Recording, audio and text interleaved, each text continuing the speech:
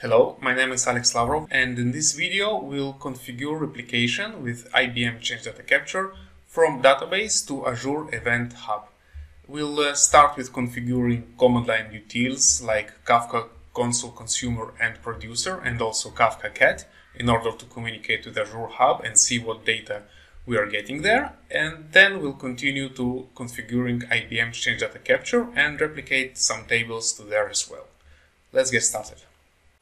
Before we start deploying assets in Azure, let's get familiar with terminology. Event Hub is built on top of uh, Kafka, so it supports Kafka API, but the names are a bit different. So as you can see, Kafka cluster on Azure called namespace, and topic is Event Hub. Partition is partition and consumer group is consumer group. So when CDC will start replicating, will replicate into Event Hub that are grouped in the same namespace which is equivalent to Kafka cluster with several topics. So now let's go to Azure. Okay, so this is the dashboard of my uh, Azure account. Uh, it's a free trial, but it should be enough to create namespace and several event hubs. So let's go to event hubs and create a new namespace, which is basically Kafka cluster. Uh, let's call it uh, resource group. We'll choose Alex text and the namespace name. Let's call it CDC test one okay. Uh, and the pricing tier we need to choose standard because only in standard and up uh, the Kafka interface will be enabled. Basic is not enough for that. So we'll choose standard review and create and then we'll create the namespace. So now the deployment is in progress and uh, we'll be back when it will be finished. So the deployment is complete. Uh, let's go to the resource and now please see that Kafka Surface enabled, meaning that Kafka API is available. Without it, we'll not be able to replicate. Let's go to Event Hubs and create a couple of them. We'll need two, one for the data, another one for commit stream. Commit stream is used for different tasks uh, like TCC, Transaction Consistent Consumer, things like that. We'll not be using that, but we need to create it uh, anyway. So let's create the first uh, event hub. We'll call it uh, data topic. Data topic will uh, remain uh, on partition. Doesn't really matter for this demo. Let's create it. So the event hub to data topic is being created. And the second one, we'll call it commit str for stream. Let's create it as well. So now we have uh, two event hubs, so basically two topics. And uh, the first step that we'll do is uh, to configure uh, different uh, client utilities uh, to work with event hubs. So we'll do it for Kafka Cat and uh, Kafka Console Consumer and Producer. So first thing that we'll need to do is let's go back to the namespace.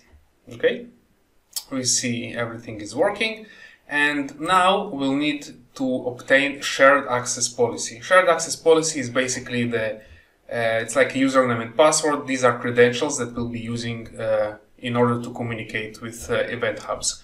Uh, there is shared access policy in each uh, event hub, but since we'll have the single replication replicating and using both of the topics, both of the event hubs, uh, we'll need to use one on the namespace level. There is a default one, root manage shared access key. Uh, we will use it, probably in the production environments. It's not a good idea, but uh, for the sake of this demo, we'll use it. Let's uh, give permission and save it. It's being updated. And uh, what we'll need for this from this policy is uh, this connection string primary key. Let's copy to clipboard and put it in a notepad, so we'll use it in our configuration. So now let's go back to our server and uh, start configuring the utilities.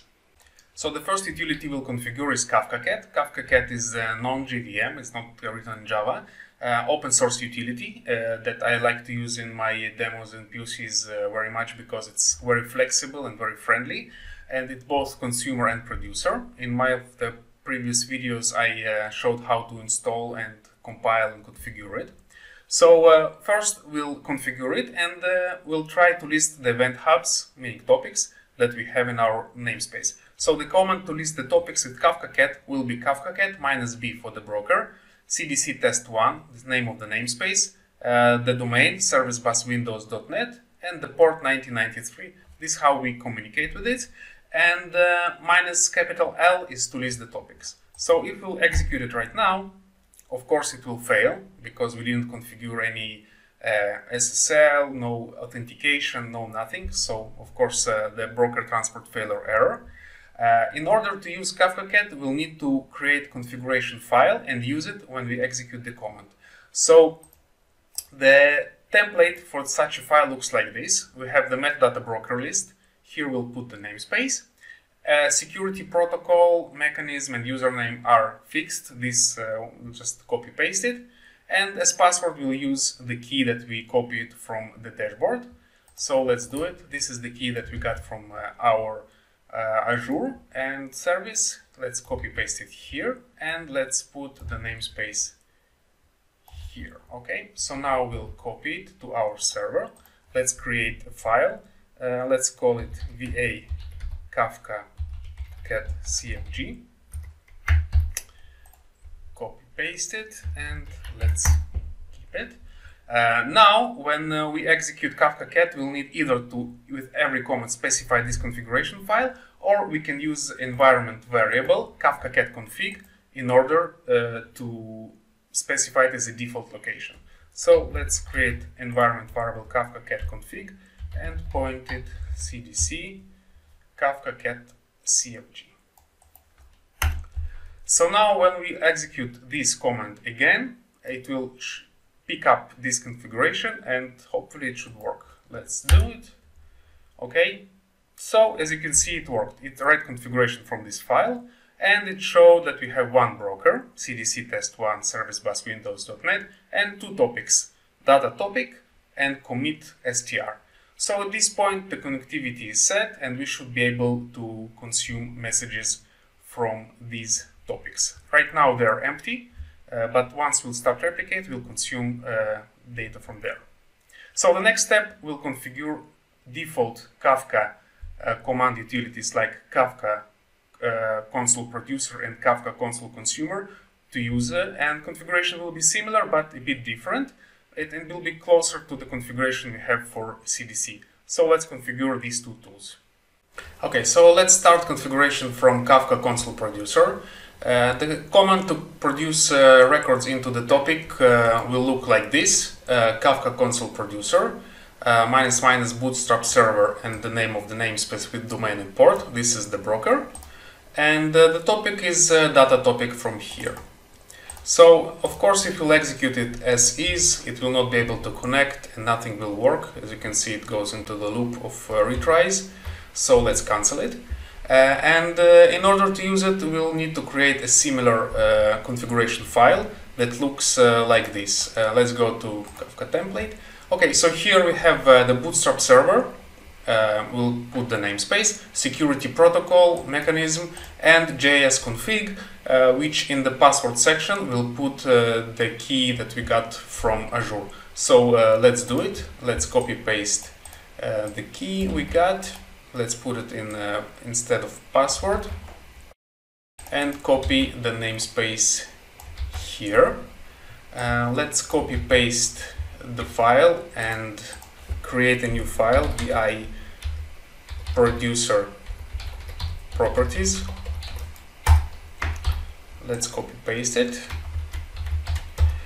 Uh, and now uh, when we are using let's clear the screen. And now that we are going to use the Kafka console producer, we'll add the option that will point us to this configuration file. Minus minus producer config and home cdc producer properties. Okay, so now if we'll execute it, uh, we should be able to send messages to this uh, event hub. Let's execute it. Okay, we got the prompt, so now let's uh, send a couple of messages. Test 1, test 2, okay, and uh, that's it. Uh, in order to use Kafka Console Consumer, we'll use uh, the same file. It's a good idea to separate them in different files because maybe in the future we'll add uh, some options that are only uh, only accessible for producer or only for consumer. So even though the initial configuration is very similar, we'll create a different file. So just copy producer properties to consumer properties.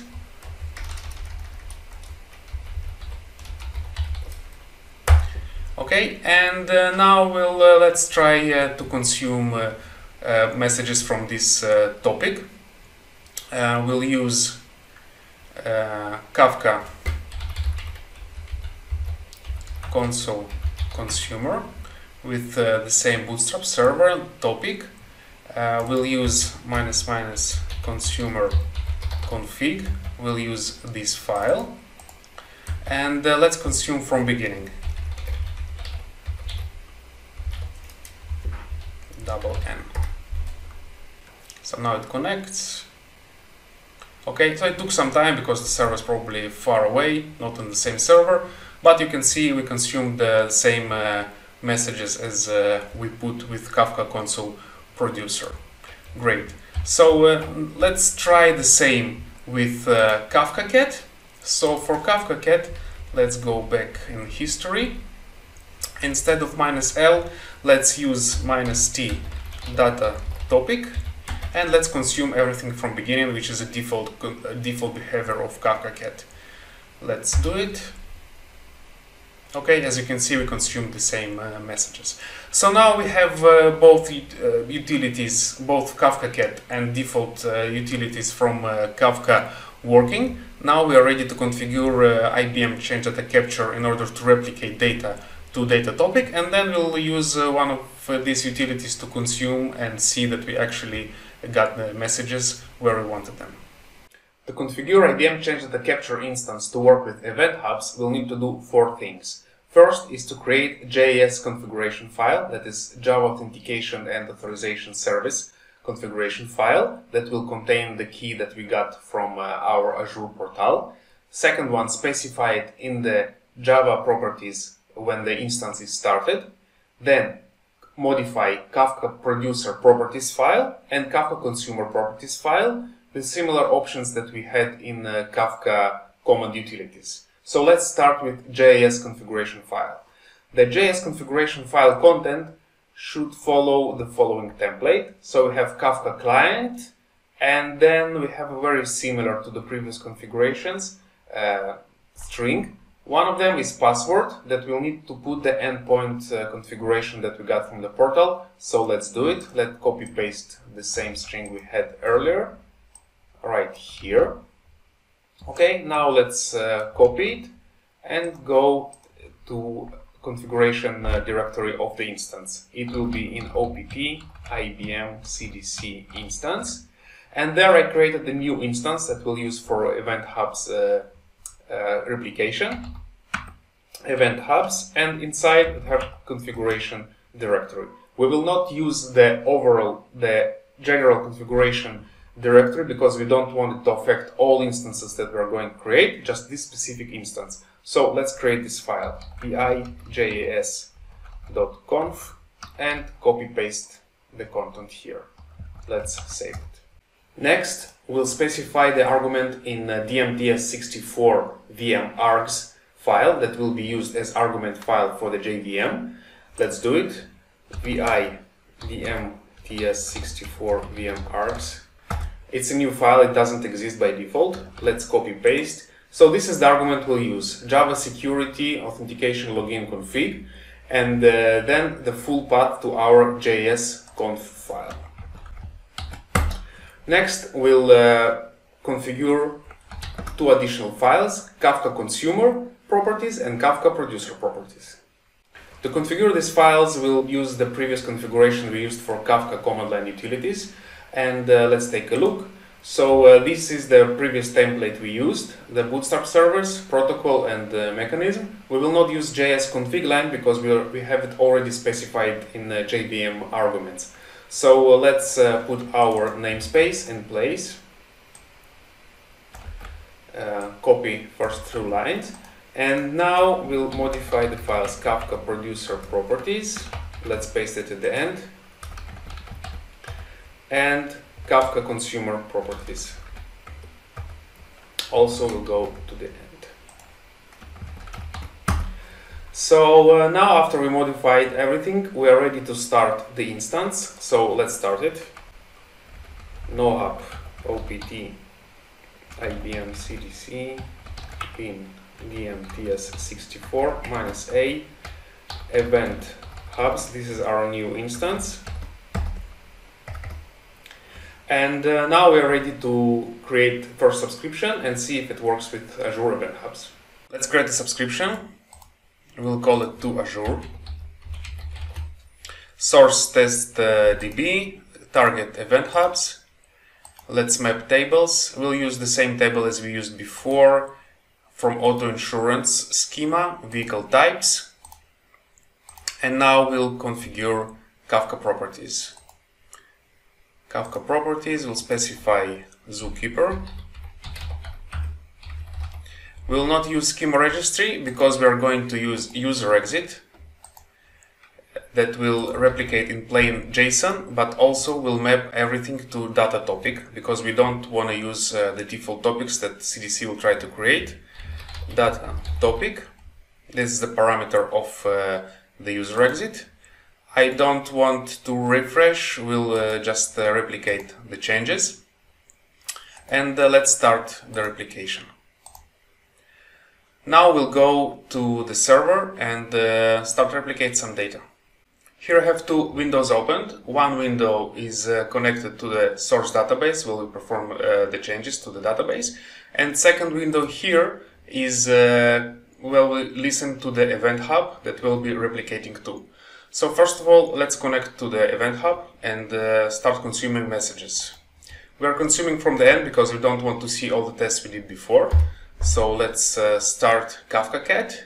Okay, so now it's listening to the messages and uh, now we'll perform uh, insert into the table vehicle types as you can see here. Insert into auto insurance vehicle types values type V20 uh, convertible small. Let's perform the change it auto committed and now we'll see the change coming from Azure Event Hub as you can see here. Let's perform another one, uh, type 21, huge, okay. And now as you can see, we got it from Event Hub. So now we see that CDC successfully replicated data to Event Hub, data topic, and we consume it using Kafka Cat. All configurations and templates for these configurations will be documented in GitHub repository and the link to this repository will appear in description of this video. Thank you for watching.